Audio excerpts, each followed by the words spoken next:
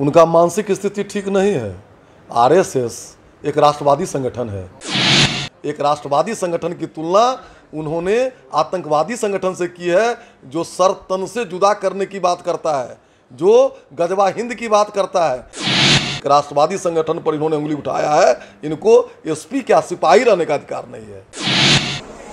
ऐसे संगठन के कार्य की तुलना एक नॉन आतंकवादी संगठन पीएफआई से करना जो देश को तोड़ने में लगा है, क्या मतलब है इसका? भारत माँ को श्रेष्ठ बनाने वाला जिस संगठन के खिलाफ पटना के एसएसपी के द्वारा इस तरह का बयान दिया गया, यह अत्यंत ही दुर्भाग्यपूर्ण है। डिमांड करता हूँ माननीय मुख्यमंत्री जी से कि इनके खिलाफ तुरंत शीघ्र कार्रवाई किया जाए और तुरंत पटना के एसएसपी से इसको हटाने का निर्देश देने की कृपा करें। आज पटना के एसएसपी ने विवादित बयान दिया है। उन्होंने आरएसएस की तुलना आतंकवादी संगठन से की है। किस रूप में देख रहे हैं? उनका मानसिक स्थिति ठीक नहीं है। आरएसएस एक राष्ट्रवादी संगठन है, जो देश प्रेम सिखाती है। देश पर मर मिटने की जज्बा पैदा करती है लोगों में। एक राष्ट्रवादी संगठन की तुलना उन्होंने आतंकवादी संगठन से की है, जो सर तन से जुदा करने की बात करता है, जो गजवा हिंद की बात करता है, जो जिहाद की बात करता है। जो उसके मन मस्तिष्क को नहीं मानता है, उसको जीने का अधिकार नहीं है। इसलिए ऐसे पदाधिकारी को पद पर रहने का कोई अधिकार नहीं है। माननीय प्रधानमंत्री जी का प्रोग्राम यहाँ होने वाला था और तेरह ईस्वी में भी सीरियल ब्लास्ट हुआ था। मैं मांग करता हूँ कि ऐसे पदाधिकारी पर कार्रवाई हो। एक बहुत बड़े षडयंत्र की बात थी जो नहीं सफल हुआ।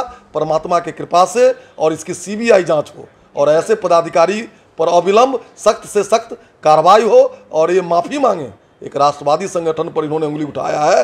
इनको एसपी क्या सिपाही रहने का अधिकार नहीं है? किस तरह की कार्रवाई की मांग करते हैं? बर्खास्त किया जाए। बर्खास्त किया जाए ऐसे ऐसे एसपी को यहाँ रहने का कोई अधिकार नहीं है।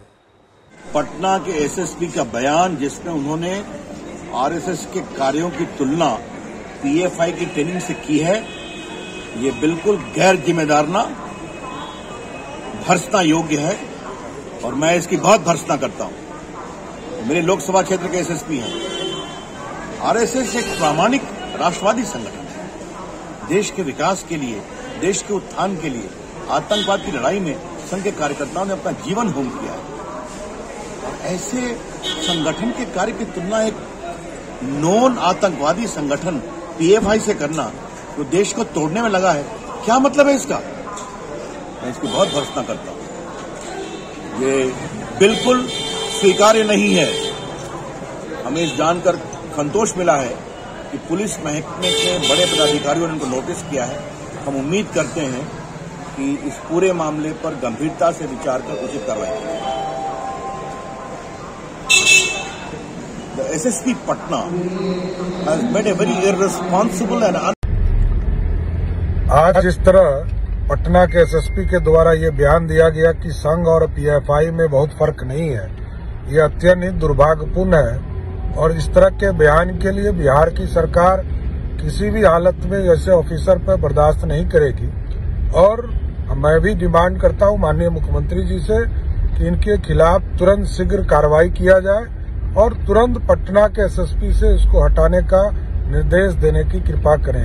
क्योंकि बिहार में या देश में जिस तरह संघ के द्वारा लगातार देश को श्रेष्ठ बनाने का काम किया जा रहा है, और देश में आप देखते होंगे कि जब भी ज़रूरत पड़ती है तो इस देश को आगे बढ़ाने में संघ आगे खड़ा होता है। और साथ ही साथ, संघ का, संघ एक ही चीज़ों की पूजा करता है वो है सिर्फ़ और सिर्फ़ भारत माता की पूजा करता है। तो भारत माँ को श्रेष्ठ बनाने वाला, जिस संगठन के खिलाफ पटना के एसएसपी के द्वारा इस तरह का बयान दिया गया, यह अत्यंत ही दुर्भाग्यपूर्ण है।